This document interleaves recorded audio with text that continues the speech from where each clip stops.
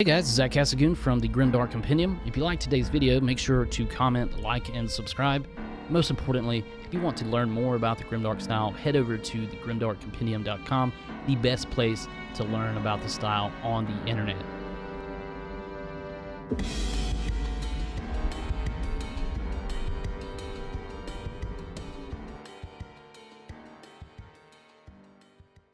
What's up guys, Casagoon Miniatures back with another video tutorial, and this time we're going to be taking a look at how to finalize our designs, bring our bases into a more grimdark realm before we go on to painting. All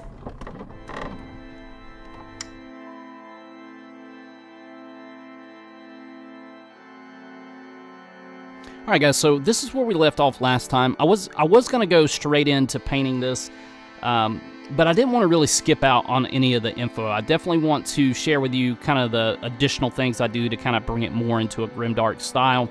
Uh, a lot of which we use bits for, so things like skulls, lots of other bits we can use from the Games Workshop range, or even re resin printed bits. Also like to use copper wiring. I'll show you a couple examples I have of that. So this is a 20 gauge, and I have a 16 gauge copper wire here. I really like these two uh, sizes of wire. They work really well for Warhammer. You can use them as ropes, even like wiring if you're doing stuff in the 40K kind of thing. And even use uh, like to use that jeweler's chain I just showed there. Uh, so here's here's an example of a base that I made, and I want to kind of show you how I I consistently use the same products.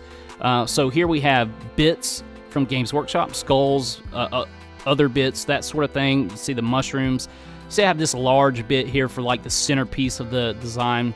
And uh, right there where that little piece is kind of knocked off there, that was where I had another model uh, but I took him off of there just to kind of mess around with it more. But you can see static grass, all the normal things. I like to use a lot of the same products. Uh, so there's a lot of natural stuff on that base, and this base has some natural stuff on it too, but this is more bit focused right here. So we built this base primarily from a lot of the the bits that we find in Warhammer 40k, a lot of the buildings and that sort of thing.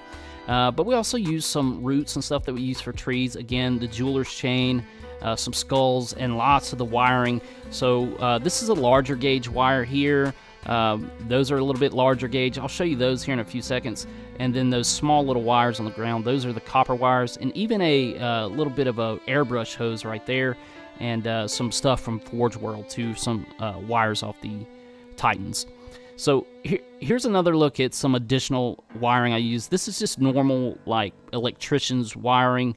Um, stuff you can typically find at a hardware store. Uh, you can either use that as is or cut it open. It's got a, lots of very fine copper wire in there, so you can use that. Uh, also, I have some of this right here. Also, something I picked up from like a Lowe's or Home Depot, just any hardware store, and uh, it's it's kind of like a it's a different material, but it works a lot like copper. So the reason I like copper and stuff like that is very malleable. So if we want to make like a wire that's laying on the ground, you can do that kind of thing with uh, with copper wiring, and you kind of shape it and mold it to whatever you want it to be. Uh, you can only also use things like guitar strings. Uh, those are a little bit less malleable. I like to use those for like pipes and that sort of thing on actual figures. Um, so, so all right. So let's take a look this is where we left off last time. We had all the natural stuff done, all the rocks, the trees, the roots, the grass, uh, all that kind of thing was done, and it looks really cool for us, but we want to kind of make this look a little bit more kind of spooky and give it a little bit of a uh, like a horror feel to it. So uh, what I'm going to do is I'm going to start working through this base and start adding bits to it. So we I typically like to use bits. You know, you can always scratch build stuff, and that's really cool.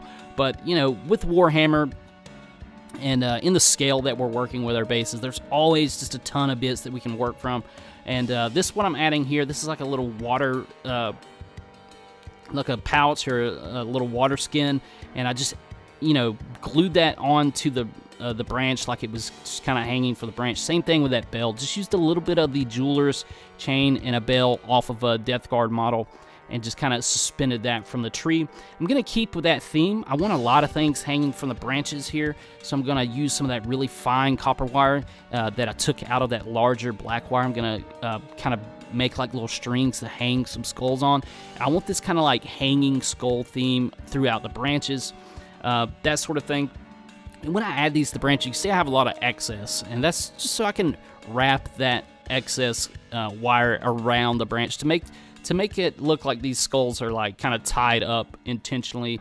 You know, it looks very human done, human made, and that's you know that's kind of the vibe we're going through there. Another important thing about when you hang things from trees is you also you always want varying lengths of string. You don't want your stuff to all be hanging the exact same length. That kind of creates a visual distraction. So you want to make sure that you get a good variation in the lengths of your uh, ropes or whatever that's going to be uh, suspending skulls or anything like that, just to give it a nice balance and uh, be more pleasing to the eye.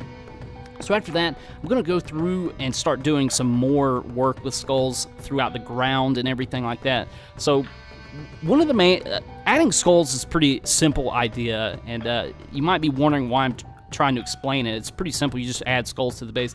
But one of the more important things about that is adding them in a in a, like a compositionally correct way. You like you don't want to stack these up and and just kind of not think about how you're adding them. Add each skull individually and consider the composition. Kind of like how I'm holding that base right there, looking at it from basically like the top down. You want to make sure when you're adding lots of things like that, lots of skulls, you want to make sure and add each skull individually and always keep the composition of how you're laying that base out in mind.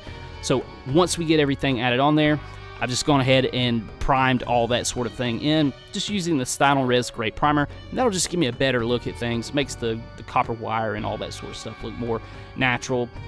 You know, of course, we'll paint that up to look more like some kind of rope or something like that. But after this, I'm just going to be taking a look at the base, making sure I'm happy with the design, making sure that the, the composition is correct, and looking at it and uh, considering what else I could add to this base uh, to give it a little bit more flair or anything like this. At this point, I'm pretty happy with it. This is going to be an Age of Sigmar base. Now, uh, if this was something for like 40k, I could consider going in and adding some like kind of lost uh, robotic pieces or piece of armor or you know something like that with some like wires hanging out or you know some kind of abandoned uh, piece of machinery in disrepair, that sort of thing. Um, but for, in this scenario, uh, we're going for just creepy, kind of witch-looking forest, and uh, that's looking pretty good as is. Lots of natural stuff and just keeping it in the Age of Sigmar realm. Now again, if we look back at this right here, this is a, another design that I've done here. This is more 40k uh, inspired and uh, using just primarily bits and uh, just lots of different techniques to add those wires, which I explained earlier in the video. So two kind of separate approaches there. Now let me show you what I'm going to be using this base on. So this was my initial design for my kind of uh, the basing I'm going for. Uh, I'm actually just working on a Witch Elves army, and I'm building this base, this basing scheme for that army. This was the initial design here. Now it looks very similar, but the the problem with this is I used a lot of uh, brass etching plants and uh, a lot of like uh, plastic card and stuff in that uh, design, which was just kind of like very cost absorbent. It cost a lot of time, uh, like a lot of time to make those things, and it also costs a lot of money to buy things like that. Uh, so I kind of did a redesign of the base, and I, I kept it uh, pretty simple this time, and just using lots of natural things that I can just go out and find. Because I'm going to be using this on my um, Daughters Khaine, so I'm going to be using this on uh, Morathi. Uh, here you can see I have some of the miniatures on here just to kind of see what they look like. So, uh, so you can kind of see the whole process I go through of designing uh, things for armies and stuff like this. Now, these miniatures that you see here are ready for final details. They're essentially based based out. And if you remember, uh, a little while ago, I posted a video of this figure here, and this is the color scheme uh, for the skin that I'll be using. So um, you can see that has a lot of green and, and that sort of thing in there, a lot of natural tones, some browns and greens. And that's all designed to fit with that natural kind of haunted forest base because I, I already know what the color scheme for the base is going to be since I've already designed one. I designed one for that for the cauldron model I showed.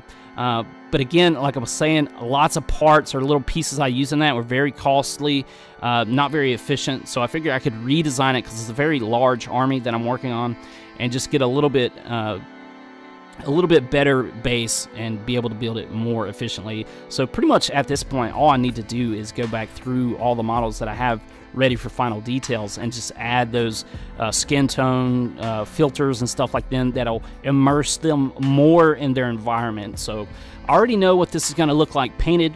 Uh, we will get in that, uh, get into that in the, in the next video. Uh, so I, I just wanted to show this a little bit so you know how I kind of get it to that final stage before paint. Um, and then you know we'll paint it up and then we'll I might even show a video of how I kind of take a model that's ready to be finalized and uh, kind of immerse it into the environment that I plan for it. So uh, I hope you guys enjoyed this video and we'll catch you in the next one.